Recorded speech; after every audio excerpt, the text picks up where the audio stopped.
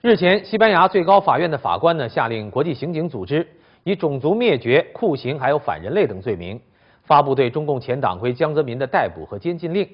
虽然中国外交部在二月七号要求西班牙当局能够阻止对中共前领导人在西藏问题上的行为采取进一步的法律诉讼行动，但是西班牙国家法院呢还是依据着普遍正义的原则，就支持西藏团体所提出的告诉加以处理。据了解呢，这个逮捕令一旦发出。那么，只要这些中共前领导人一出境，就可能遭到逮捕。英国路透社报道，二月十号，西班牙高法法官伊斯梅尔·莫雷诺命令国际刑警组织发布对江泽民的逮捕和监禁令，另外还下令逮捕前总理李鹏、政法界元老乔石、前西藏党委书记陈奎元和前国家计划生育委员会主任彭佩云。据报道，二零零六年，两个支持西藏的团体和一名西班牙籍僧人向西班牙法庭提起诉讼，指控包括江泽民和李鹏在内的中国前领导人，在西藏犯。有反人类罪，他们指控五名被告积极执行让大批汉人定居西藏自治区的政策，并长期羁押数以千计的藏人，予以刑求和非法虐待。伊斯梅尔·莫雷诺在他的裁决书中说，江泽民负责监督管理那些直接违法的人，所以他应该对下属在西藏行使的酷刑和其他反人权的行为负责。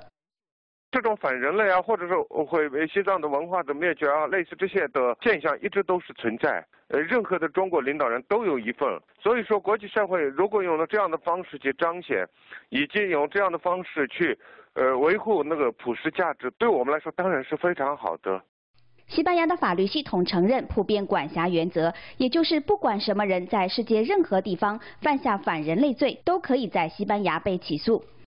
很多国家，呃，因为经济的利益而放弃道义上的这样一个责任，很多这样一个趋势，不太愿意去招惹中国的这样一个趋势下，西班牙的法庭能够抛弃这样一些利益的纠葛，而是从道义、从国际法或者说从普世价值的角度对中共的行为提出这样一个统计以及逮捕，当然是非常的了不起的一个创举。多年来，西班牙法官曾裁决犯有反人权罪行的国际人物有罪，并试图逮捕这些国际人物。一九九八年，智利军事独裁者奥古斯图·皮诺切特就是被西班牙前法官加尔松以普遍管辖原则逮捕。那么中国政府呢？那么他还有一定的经济实力，那么在收买那个舆论。那么他在全球呢，也在不断打造他自己的形象。那么对中国的人权问题，对中国的就是无论是迫害地下教会、迫害这样的佛教徒，或者迫害就是新疆的穆斯林，还有迫害像法轮功。那么如果这些所有的问题的话，如果西方国家没有以美国为首，那么形成一个比较团结的是一个阵营的话呢，那么中国政府我想基本上是不会呃予以理睬和担忧的。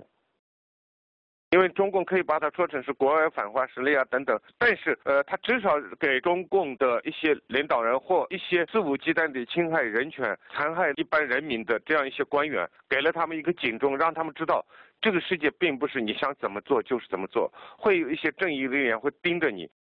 事实上，这不是西班牙法庭第一次向江泽民发出逮捕令。早在2009年11月28号，西班牙国家法庭已作出裁定，以群体灭绝罪及酷刑罪起诉迫害法轮功的首恶江泽民、罗干、薄熙来、贾庆林、吴官正五名中共官员。西班牙国家法庭在历经两年详细的搜证调查后，伊斯马尔雷诺法官在2009年11月通知人权法律基金会，法庭同意根据诉状内容受理起诉被告所犯下的群体灭绝罪及酷刑罪等重大罪行。据了解，中共自从1999年对法轮功进行镇压迫害，法轮功学员在国际上先后控诉了30名参与迫害的中共高官，其中被控诉最多的是发动这场迫害的元凶江泽民。